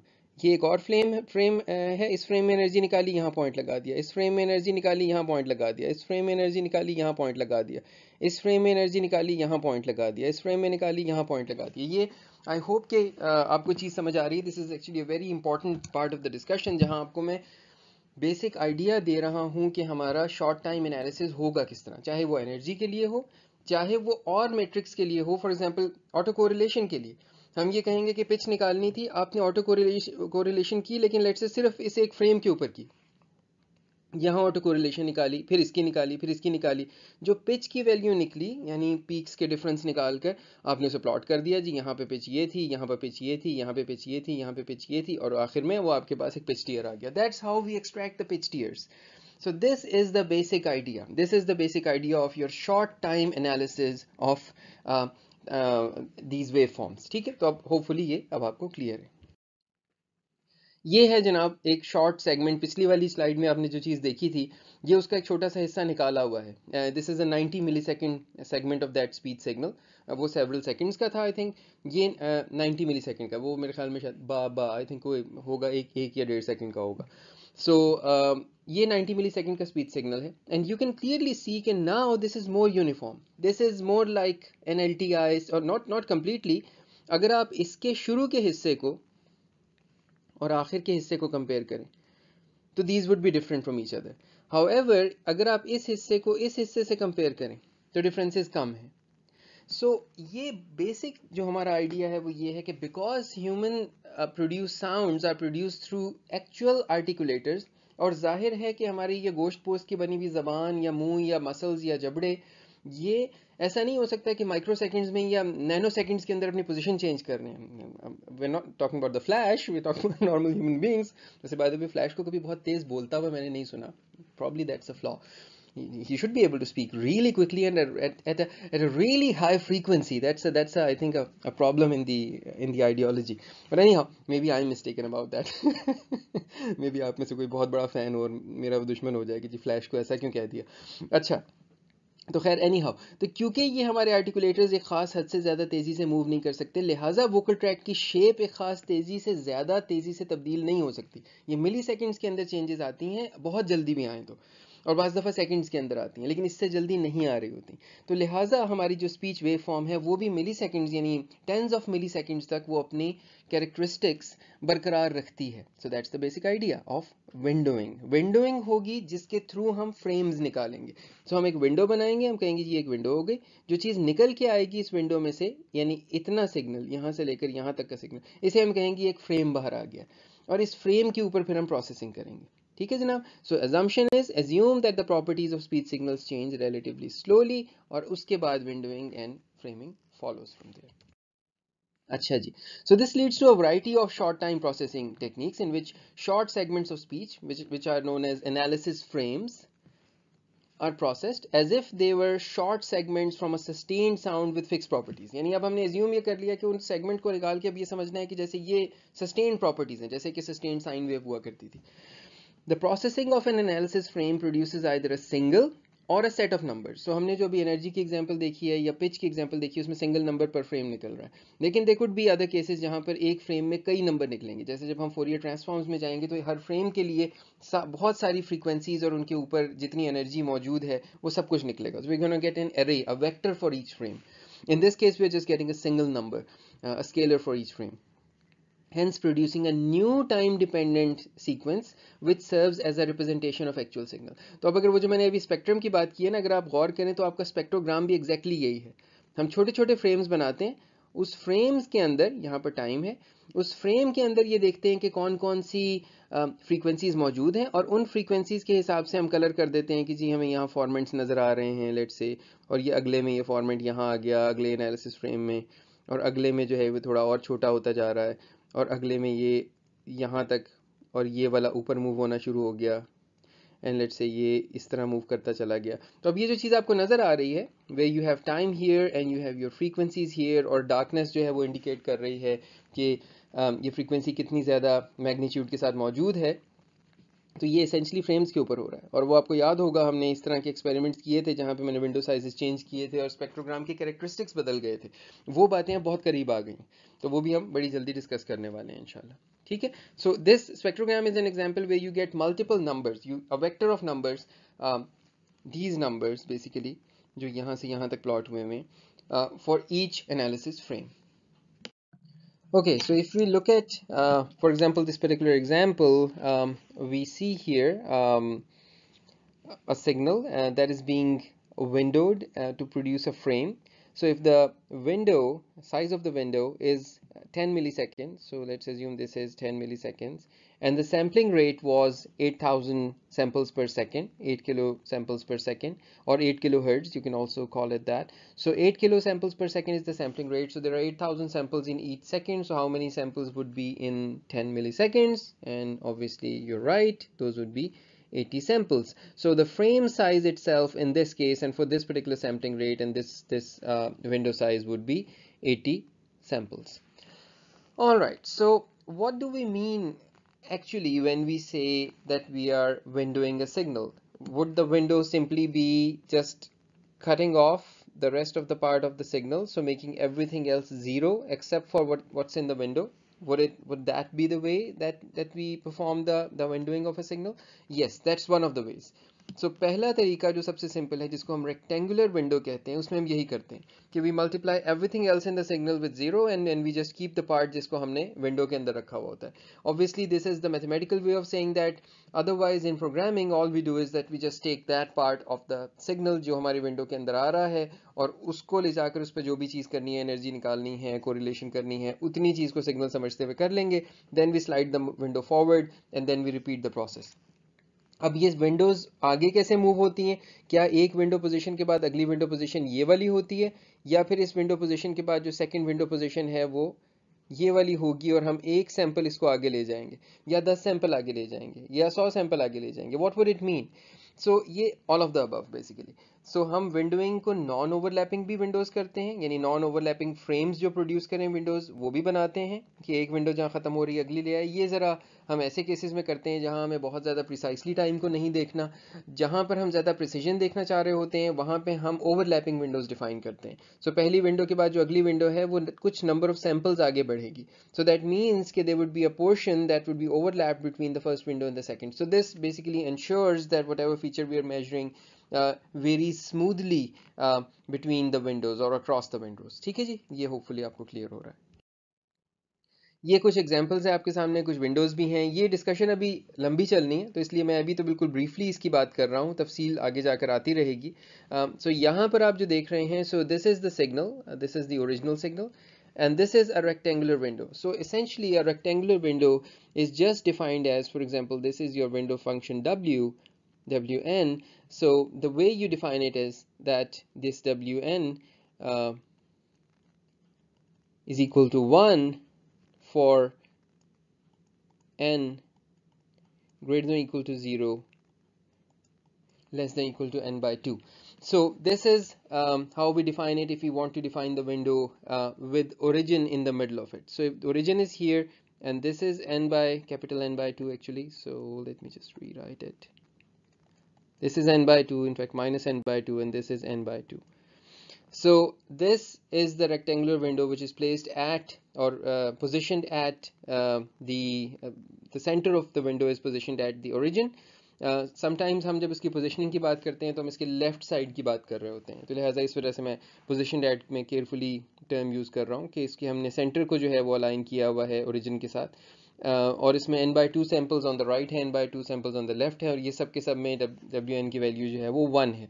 बाकी तमाम जगहों पर डब्ल्यू एन की वैल्यू जो है वो ज़ीरो है। ठीक है? बाज़ दफ़ा आपको ये एक्सप्लिसिट डेफिनेशन हुई भी मिलेगी और इस तरह भी लिखा हुआ मिलेगा जिस तरह से मैंने लिखा है। And when you want to window a function essentially what you doing is you're just multiplying your function your X को आपने सिंपली मल्टीप्लाई कर देना है डब्ल्यू uh, के साथ। ये मैंने स्क्वायर uh, और राउंड ब्रैकेट्स मिक्स कर दी हैं। आई होप कि you will forgive me for that uh, as I warned you earlier. ये मिक्सिंग होती रहती है। तो ये मल्टीप्लिकेशन करने के बाद आपके पास जो चीज़ आएगी वो इसेंशली इस पोजीशन के ऊपर सिग्नल का वो हिस्सा निकल आएगा जितना इसमें ओवरलैप कर रहा है। As you can see here ये बेसिकली ये इतना हिस्सा जो है वो आपको यहाँ पर मिल रहा है। तो ये रेक्टेंगुलर विंडो से विंडो होकर जो फ्रेम निकल रहा है वो ये फ्रेम है। We can also have a triangular window triangular window अगर हमारे पास हो तो उससे जो हमारे पास फ्रेम निकलेगा, वो इस किस्म का फ्रेम निकलेगा, इस वे फॉर्म के लिए। अगर हमारे पास इस किस्म की विंडो हो, जिसको हमने यहाँ पर हैनिंग विंडो कहा है तो इस हैनिंग विंडो के केस में हमें जो है वो इस किस्म का फ्रेम मिल रहा है। ये एक और विंडो है this is also a famous window it's known as Hamming window और इसके लिए भी जो फ्रेम निकलेगा यू कैन बेसिकली विजुअलाइज के वो किस तरह का होगा। अब कितने विंडो फ़ंक्शंस हैं? ये क्यों अलग अलग हैं? इनकी क्या अच्छाइयाँ, बुराइयाँ हैं? ये सब आहिस्ता आहिस्ता हम एक्सप्लोर करेंगे। विंडोज़ के बीच में जो डिफरेंसेस हैं, लेकिन यानी कि different types of windows and their benefits and their shortcomings वो ज़्यादा आएँगी जिस वक्त हम फ्रीक्वेंसी डोमेन हिस्से को डील कर रहे होंगे। टाइम डोमेन में उसकी बहुत ज़्यादा तफसील नहीं आएगी। बहुत ब्रीफली मैं टच करूँगा। Without going into a lot of details I just move on from there however जिस वक्त हम आएँगे फ्रीक्वेंसी डोमेन में तो वहाँ पर इसका काफ़ी तफसीली डिस्कशन हमें करनी पड़ेगी before we get into the Fourier transforms and all of the above तो उस सब कुछ से पहले uh, फिर जो है हम इसको तफसील से देखेंगे कि इस विंडोइंग के क्योंकि जो इसके ज़्यादा बड़े इम्पैक्ट्स हैं वो फ्रीक्वेंसी uh, डोमेन के अंदर हैं। टाइम डोमेन के अंदर जो इसके इम्पैक्ट्स हैं वो हम अभी कवर कर लेंगे uh, कि टाइम डोमेन वे फॉर्म इससे किस तरह से चेंज होती है। ठीक है और उसी पॉइंट पर जब वो आएगा तो फिर हम इन विंडो के फ़ंक्शंस को तफसील से देखेंगे भी कि मैथमेटिकली uh, हम इनको डिफाइन किस तरह से करते हैं। ये हैं कितने? ये बहुत सारे सो जस्ट विकीपीडिया के ऊपर आप जाएँ and you you'll find a very long list of windows सब अपने फ़ायदे, अपने नुकसान और कुछ तो बीच में इतना कम डिफर करती हैं कि किसी स्पेसिफिक पर्पज़ के लिए you have just created a new window for general purposes there won't be much difference between those windows तो ये इस तरह की भी चीज़ आपको मिलेगी. So it's not necessary for you to remember all of the like I know 50 window functions. You just need, like, three or four important ones that that you need to learn about how these these function, functions impact the signal in terms of its time domain and frequency domain characteristics. अच्छा जनाब, अब जब हम ये windowing पढ़ लेंगे तो जो कि हम अभी बस समझे, पढ़ ही चुके हैं एक तरह से, अब सिर्फ़ उसको इम्प्लीमेंटेशन उसका देखना है तो इसकी बेस के ऊपर we gonna define a lot of these interesting metrics और अब मैंने पहली दफ़ा इन मैट्रिक्स को यहाँ पर जोड़ दिया है इस चीज़ के साथ कि इससे हम कौन सा स्पीच प्रोसेसिंग का काम करवा रहे होंगे। So we're going to learn about short time energy, which you already know what it is. So you know how to calculate energy. It's just कि अब आप उसको विंडो करके एनर्जी ले लेंगे, बजाय पूरे के पूरे सिग्नल की एनर्जी एक नंबर निकालने के। आप विंडो करके छोटा सा हिस्सा निकालेंगे, उसकी एनर्जी निकालेंगे विंडो आगे मूव करेंगे, फिर एनर्जी निकालेंगे और आपके पास एनर्जी का एक प्लॉट आ जाएगा। So that would be your short time energy will also look at something else जिसके अंदर आपको याद होगा कि एनर्जी के अंदर हमने ये चीज़ को स्क्वेयर टर्म किया हुआ था। और यहाँ पर आपके पास ये एब्सोल्यूट था। जो शॉर्ट टाइम एवरेज मैग्नीट्यूड है। इनफैक्ट इसमें जो एवरेज मैग्नीट्यूड का हिस्सा है, उसके अंदर यहाँ पर आपके पास सिर्फ़ एक्स एन होगा आ, हमारे पास यहाँ पर जो है वो एक्स स्क्वेयर एन नहीं होगा ठीक है? तो ये मैग्नीट्यूड इससे शॉर्ट टाइम मैग्नीट्यूड निकल आएगा फिर हम देखेंगे कि आगे इसकी एवरेजिंग से हमारा क्या मतलब है तो वो हम आहिस्ता आहिस्ता फिर इस सफ़र को आगे बढ़ाएँगे। And then similarly you have zero crossing rate Z C R zero crossing rate is defined as कि कितनी दफ़ा आपका सिग्नल जो है वो ज़ीरो को क्रॉस करता है यानी इक्विलिब्रियम पोजीशन को क्रॉस करता है। Like here we have one two three four and five zero crossings so five zero crossing हमें यहाँ पर मिल रही हैं। तो इस चीज़ को मेजर करने का क्या फ़ायदा होता है? This could be taken as a rough approximation of the pitch अब वो फंडामेंटल फ्रीक्वेंसी वाली पिच नहीं। Uh, it, it could be taken as a rough approximation of the highest frequency component जो कि आपके सिग्नल के अंदर है। और ये हम देखेंगे जब उसके अंदर जाएँगे कि ये रफ अप्रॉक्सीमेशन ही है लेकिन इसके बाद हमें बहुत अच्छे फ़ायदे मिल जाते हैं कि हमें पूरी पिच नहीं निकालनी पड़ती इससे भी बहुत कुछ निकल आता है। इस सब कुछ से हम करेंगे क्या? जो दो काम हम करके देखेंगे ना वो ये हैं। स्पीच वर्सेस साइलेंस डिस्क्रिमिनेशन जिसको हम एक और नाम भी देते हैं जिससे शायद आप फेमिलियर हों voice activity detection I apologize for the bad writing this is कहीं से भी detection नहीं लग रहा but anyhow voice activity detection या WAD सो so, ये नाम हम कॉमनली इसके लिए यूज़ करते हैं speech versus silence discrimination silence क्या होता है? जो स्पीच नहीं है। सो so, यहाँ पर speech versus non speech discrimination भी आप कह सकते हैं कब कोई ह्यूमन बोलना शुरू हुआ ठीक है? सो so, ये एक काम करने के लिए हम इन तीन चीज़ों को यूज़ करेंगे। Similarly voiced versus unvoiced distinction कहाँ वॉवल की आवाज़ आ रही है और कहाँ वॉवल नहीं बोला जा रहा? इस काम के लिए भी हम ये तीन चीज़ों को short time energy short time magnitude और short time zero crossing rate इसको यूज़ करेंगे ठीक है? फिर हम पढ़ेंगे the short time autocorrelation function आप ऑटो कोरिलेशन ऑलरेडी जानते हैं, ये हम इसको थोड़ा सा और रिपीट करेंगे। And short time average magnitude difference function ये एक और चीज़ होगी। सो एवरेज मैग्नीट्यूड और एवरेज मैग्नीट्यूड डिफरेंस और इन दोनों की मदद से हम करेंगे pitch period estimation so pitch निकालना. सो so, हमारे पिच किस तरह से वेरी कर रही है एक सिग्नल के अंदर? ये करने के लिए हम इन दो को पढ़ेंगे. तो ये सिर्फ़ एग्ज़ाम्पल के तौर पर हम ये चीज़ें पढ़ रहे होंगे और इसके थ्रू ये वाले टास्क करेंगे स्पीच प्रोसेसिंग के और इनके ऊपर आपको एक असाइनमेंट भी मिलेगी इंशाल्लाह जिसमें आप ये सारे काम खुद से इम्प्लीमेंट करेंगे. So now let's begin uh, and let's let's look at these functions and see how, how simple and elegant they are in their descriptions and as, as well as their implementations. अच्छा जनाब। Speech versus silence speech signal अब थोड़ा सा देख लेते हैं कि ऐसी कौन सी चीज़ें हैं जिसकी बेस के ऊपर हमें उम्मीद है कि हम आसानी से इसको अलग कर लेंगे। So speech signal has high magnitude and energy जब स्पीच होती है तो हाई मैग्नीट्यूड और एनर्जी होता है। साइलेंस हैज़ नो एनर्जी अब यहाँ पर हम साइलेंस का मतलब वाकई रिलेटिवली लो मैग्नीट्यूड की चीज़ ले रहे हैं। इसका ये मतलब नहीं है कि रक्षे की आवाज़ वर्सेस ह्यूमन बोल रहा है। इसका ये मतलब है कि यहाँ पर वाकई साइलेंस है साइलेंस का ये मतलब भी नहीं है कि डेड साइलेंस साइलेंस का मतलब है जैसे इस रूम में खामोशी है। या जैसे किसी भी जगह पर जहाँ बहुत ज़्यादा शोर ना हो रहा हो वहाँ पे खामोशी होती है। तो बैकग्राउंड नॉइज़ या डीसी इस किस्म की चीज़ें वहाँ पर हैं और बैकग्राउंड नॉइज़ जो है ये बहुत ज़्यादा हाई इंटेंसिटी नहीं है। उससे हम इस स्पीच सिग्नल को अलग कर सकते हैं आ, और इसको हम स्पीच वर्सेस साइलेंस या वॉइस एक्टिविटी डिटेक्शन कहेंगे और ये वो काम होगा जिसके लिए हम यूज़ करेंगे जो बात हम इससे पहले भी देख कर आए हैं तीन मैट्रिक्स को short time energy magnitude and zero crossing rate ठीक है? Um, और इसमें से स्पेशली हम जिन दो चीज़ों का यूज़ कर रहे होंगे वो एनर्जी और मैग्नीट्यूड होगी। Then voiced versus unvoiced discrimination ये अच्छा बाय द वे इनमें से कोई भी हम मशीन लर्निंग से अभी नहीं कर रहे ये हम रूल बेस्ड मेथड्स बनाएँगे जिससे हम इसको सॉल्व करेंगे। अगरचे सब कुछ को हम मशीन लर्निंग से भी कर सकते हैं लेकिन उसकी ज़रूरत नहीं है फौरी तौर पे हमें हम even with rule based system काफ़ी अच्छी परफॉर्मेंस तक इसमें जा सकते हैं। All right, so voiced versus unvoiced discrimination. So voice speech has high magnitude and energy. जैसे कि आपको नज़र आ रही है यहाँ voiced है यहाँ voiced है यहाँ voiced है यहाँ voiced है and voiceless speech has low energy. So ये voiceless है ये voiceless है ये voiceless है ये voiceless है तो वॉइस्ड और वॉइसलेस को अलग करने के लिए हमारे पास दो चीज़ें जो यूज़ होंगी वो शॉर्ट टाइम एनर्जी और शॉर्ट टाइम मैग्नीट्यूड होगा इससे हम इन दोनों को फ़र्क कर सकते एक और बात जो पिछली स्लाइड में नहीं हो सकी वो ये भी है कि हम जो वॉइस्ड और अनवॉइस्ड की डिस्क्रिमिनेशन है इसमें जी को भी यूज़ करते हैं। सो so, जो स्ट्राइडेंट्स हैं हमारे सा और शाह की तरह की जो साउंड्स हैं उसके अंदर हमारा ज़ीरो क्रॉसिंग रेट बहुत हाई हो जाता है। बिकॉज़ uh, नॉइज़ है ना तो नॉइज़ के अंदर जो है there is a random fluctuation between positive and negative side so equilibrium position बार बार क्रॉस होती है। तो उसमें हम ज़ीरो क्रॉसिंग रेट को भी यूज़ करेंगे टू डिटेक्ट और to classify between voiced and voice voiceless या अनवॉइस स्पीच अच्छा जनाब एनर्जी सो एनर्जी की डिस्क्रिप्शन आपको इससे पहले मालूम है is defined as n equals minus infinity to infinity x square n ये आपकी एनर्जी की डिस्क्रिप्शन हो गई। The short time energy for signal x n over a frame of n samples position at time corresponding to sample index n is defined as अब यहाँ पर हम देख रहे हैं बेसिकली इसकी फ्रेमिंग अब इस फ्रेम को कई तरह से आप कर सकते हैं। तो मैं पहले आपको एक्सप्लेन कर दूँ कि यहाँ किस तरह हुआ हुआ है और, और क्या क्या मुमकिन है। देखिए ये आपके पास फ़र्ज़ करें एक सिग्नल है। दिस इज़ एनी सिग्नल इसका आपने इतना फ्रेम निकाल लिया। अब एनर्जी निकालने का सबसे आसान तरीका तो ये है कि इसी फ्रेम को इसी फ्रेम के साथ अलाइन करें, जिस तरह से कोरिलेशन के अंदर अलाइन हुआ हुआ होता है, उस बेस्ट अलाइनमेंट पर लेकर आए।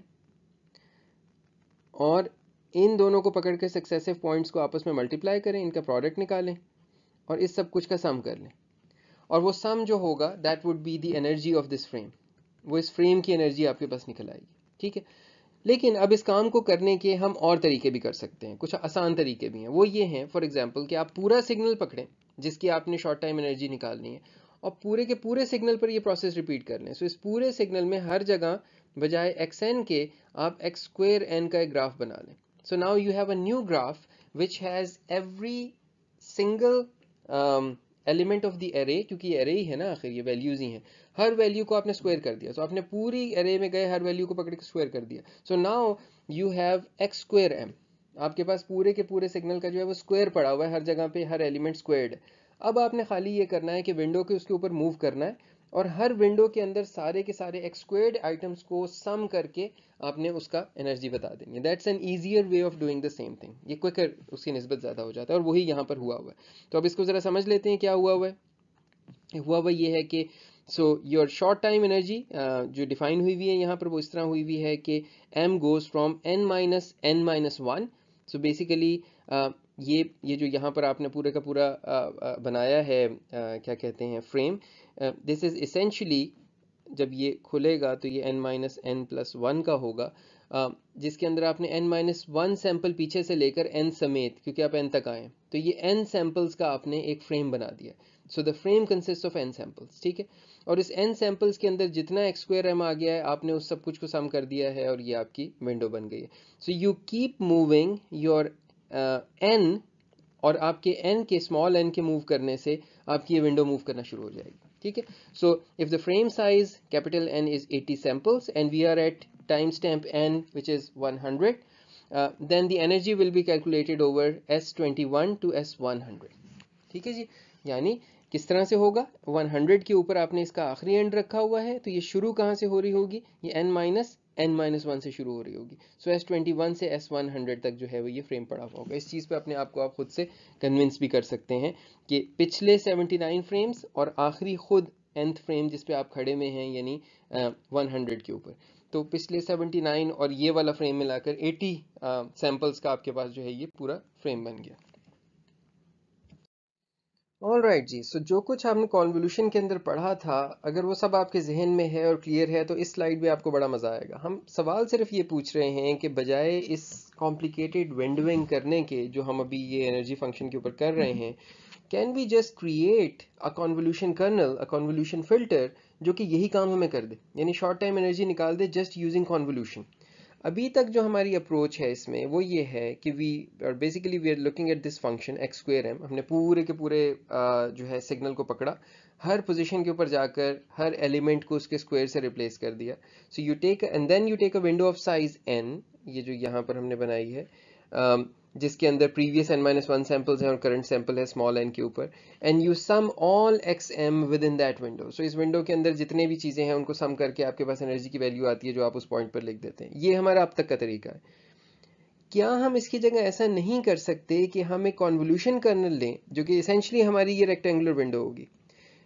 इस कॉन्वोल्यूशन कर्नल को पकड़ के इसको अपने फ़ंक्शन के साथ कन्वॉल्व कर दें, यानी एक्स के साथ इसको कन्वॉल्व कर दें। इससे क्या होगा? सबसे पहले ये फ्लिप होगी which is fine these are all ones तो ये सिमेट्रिक है बायोलेट्रली सिमेट्रिकल है, कोई फ़र्क नहीं पड़ता। अब इस सिमेट्री की वजह से जब ये फ्लिप हुई, कोई नुकसान नहीं हुआ। इसके फ्लिप होने के बाद इस तरह अरेंज करें कि जहाँ से हमारी विंडो शुरू होनी है, हम वहाँ पर इसको इसेंशली रख दें, यानी यहाँ पर हमारा सिग्नल है।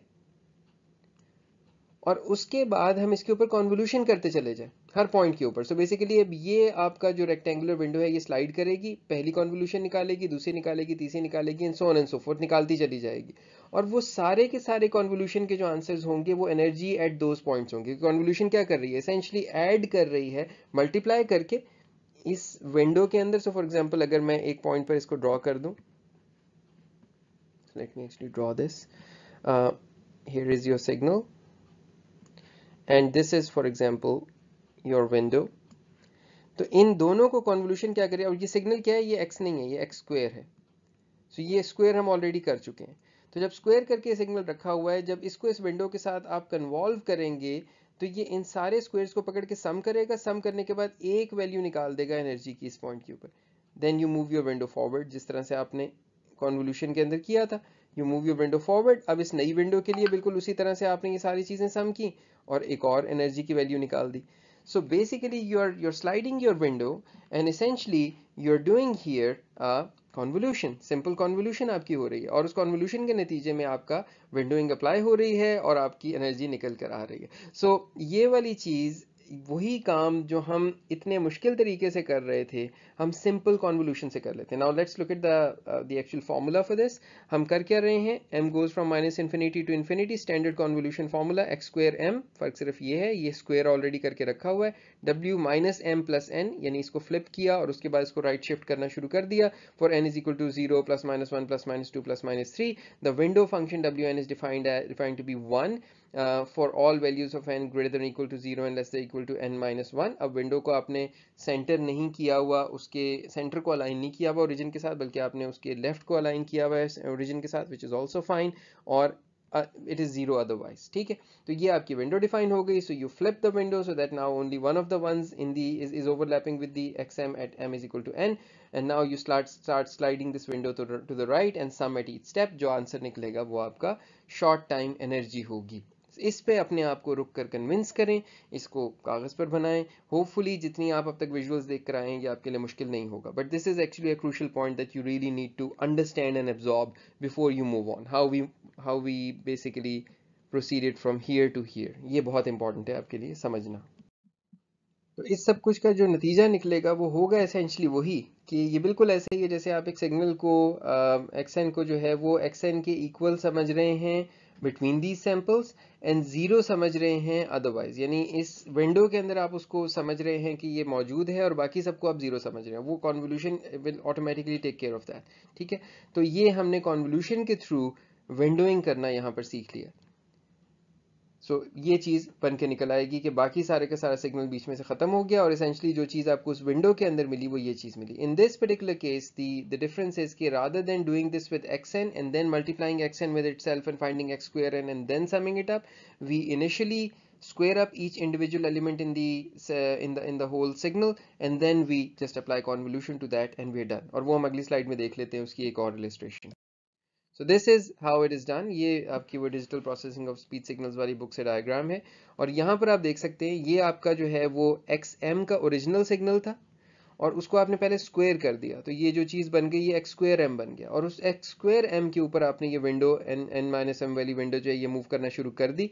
और जब ये विंडो आपने इसके ऊपर मूव की आ, तो इसके मूव करने से आपको कॉन्वोल्यूशन के थ्रू इतनी तमाम चीज़ों का इसने सम कर दिया। इन सब का सम जो है, वही इसेंशली एनर्जी है इस जगह की। This is like your x square m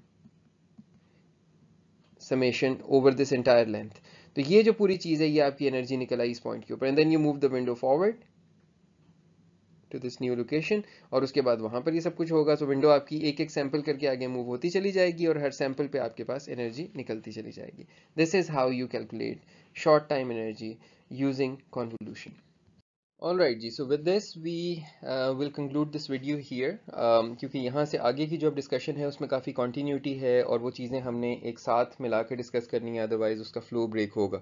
तो अगला लेक्चर वीडियो आप थोड़ी सी लंबी एक्सपेक्ट कीजिएगा because I need to cover several things in one video तो थोड़ा सा अपना वो टाइम उस तरह से मैनेज कीजिएगा कि दिस लेक्चर में मैं थोड़ा सा शायद होपफुली आई होप मैं टाइम का मेरे पास पूरा एस्टिमेट नहीं आ रहा होता बिकॉज़ इसके अंदर जो वीडियोस मैंने डाली होती हैं, वो उसका टाइम लिखा नहीं आ रहा होता तो it's showing fifty six minutes right now I think it will turn out to be one hour fifteen minutes और समथिंग लेकिन अगली video might be a little bit longer उसके लिए मैं आपको कुछ चीज़ें सोचने के लिए देकर जा रहा हूँ।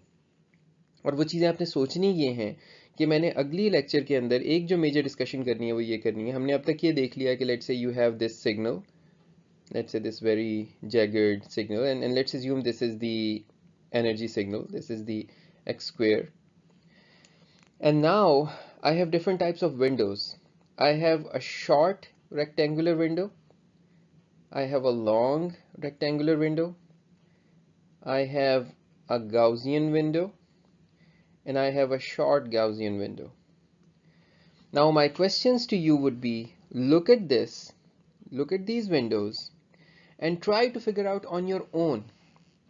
Try to figure out कि जब मैं इन विंडोज़ के साथ इस सिग्नल को कन्वॉल्व करूँगा यानी मैं शॉर्ट टाइम एनर्जी फाइंड कर रहा हूँ तो उसके नतीजे में जो आउटपुट सिग्नल आएगा यानी वो शॉर्ट टाइम एनर्जी जो निकलेगी for a short window versus for a long window of the same type again for a long window versus a short window of the same type and then a Gaussian window versus a rectangular window so change of the type of window and change of the length of the window ये दो aspects जो हैं ये किस तरह output signal को impact करेंगे मैं आपको हिंट ये दे देता हूँ और मैं क्योंकि रियली चाह रहा हूँ कि आप इस पर सोचना शुरू कर दें। ये चीज़ें जो बैफल करती हैं बहुत से लोगों को, मैं नहीं चाहता मेरे स्टूडेंट्स को ये बैफल करें। Because these are really super simple things that you can come up with your own like just by thinking about them a bit तो आपने सोचना है इस एंगल से कि क्योंकि ये रनिंग एवरेजेस हैं बाय द वे मैं रनिंग एवरेजेस इसको बार बार क्यों कह रहा हूँ? क्योंकि आप जब ये पूरे का पूरा एवरेज करते हैं ना माइनस इन्फिनिटी टू इन्फिनिटी आप ले जाकर यहाँ पे एक्स स्क्वेयर एन करते हैं और इसको लेट से आप किसी विंडो के साथ कर रहे हैं डब्ल्यू ऑफ़ समथिंग के साथ इसको मल्टीप्लाई कर रहे हैं you're finding the the convolution now the thing is कि अगर इसको एवरेज में कन्वर्ट करना है तो यहाँ पर मुझे लेंथ ऑफ़ द विंडो के साथ एल के साथ जो है वो उसको डिवाइड करना चाहिए। So number of samples in the window let me call it n n पे डिवाइड करना चाहिए। हाउ क्योंकि सारी विंडोज़ एक ही लेंथ की हैं एन कॉन्स्टेंट रहेगा throughout for the whole signal so therefore अगर मैं एन को रिमूव कर दूँ तो ये सिर्फ़ एक स्केलिंग फैक्टर के तौर पे एक्ट करेगा। यानी एन को डाल देना और एन को हटा देना, पूरे के पूरे सिग्नल को स्केल अप या स्केल डाउन कर देगा। देयरफॉर आप ये देखेंगे कि कई जगहों पे हम इन्हीं चीज़ों को एवरेज एनर्जी और जो मैग्नीट्यूड के ऊपर आ जाएँगे हम, यानी बजाय एक्स स्क्वेयर करने के, हम x of x n find कर रहे होंगे और उसको बस एब्सोल्यूट कर रहे होंगे तो एब्सोल्यूट मैग्नीट्यूड वहाँ पर भी हम एवरेज की टर्म यूज़ करेंगे। So it is an average सिर्फ़ ये है कि उस एवरेज को वो एक एक कांस्टेंट स्केलिंग फैक्टर के, एक स्केलिंग फैक्टर के तौर पे वो काम कर रही है। तो पहली बात तो ये है। दूसरी बात ये है कि इन एवरेजिंग के केसेस में आपकी विंडो लेंथ और विंडो टाइप आपके आउटपुट सिग्नल के ऊपर किस तरह से असरअंदाज होती है। और इसमें आप ख़ास तौर पे सोचिएगा कि क्या विंडो की लेंथ का सिग्नल आउटपुट सिग्नल की स्मूदिंग से कोई ताल्लुक हो सकता है? और क्या विंडो की टाइप का आउटपुट सिग्नल की स्मूदिंग से कोई टाइप कोई ताल्लुक हो सकता है। एंड अगर हो सकता है तो then how is smoothing related to the frequency components in the signal जब एक सिग्नल स्मूद हो जाता है तो इसका क्या मतलब है? उसमें से क्या कुछ फ्रीक्वेंसीज निकल गई हैं? कौन सी फ्रीक्वेंसीज निकल गई हैं? और जब एक सिग्नल ज़्यादा जैगेड शार्प हो जाता है तो क्या उसमें कुछ फ्रीक्वेंसीज बाकी रह गई हैं? वो किस किस्म की फ्रीक्वेंसीज हैं जो उसमें बाकी रह गई हैं? So that's something that I would like you to think on your own and then इंशाल्लाह अगले लेक्चर में हम इसको पिक करेंगे और फिर एक ही लेक्चर में कोशिश करेंगे कि एटलीस्ट टाइम डोमेन की इन सारी बातों को हम एक साथ कंक्लूड करें। अपना ख्याल रखिएगा। खुदा हाफिज़।